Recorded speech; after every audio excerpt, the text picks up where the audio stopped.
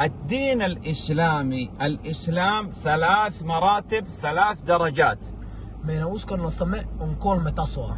الدرجة الأولى Ensimmäinen taso on الإسلام islami. الدرجة الثانية Toinen taso on, الإيمان on usko.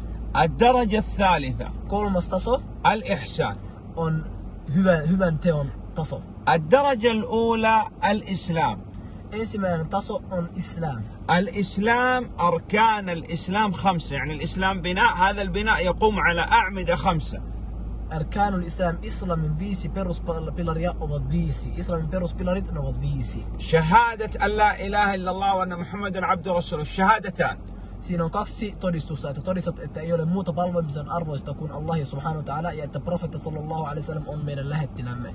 إقام الصلاة Ja että henkilö pystyttää rukoukset. إيتاء الزكاة Hän maksaa almuveron, صوم رمضان paastoo kuukauden حج بيت الله الحرام بمكة للمستطيع ja hän tulee tekemään hajjin Mekkaan, jos hän pystyy siihen. المرتبة الثانية الإيمان Toinen taso on iman. أركان الإيمان ستة إيمان بيروس بيلاريت أوفت كوسي أن تؤمن بالله. أتهن أسكو الله سبحانه وتعالى. وملائكته. يعني هين كلا هنسا وكتبه. يعني كيلو هيسا ورسله. يعني بروفيتو هيسا واليوم الآخر. يتوم يوم بايبان. ونؤمن بالقضاء والقدر. يا أسكو آه، قدري.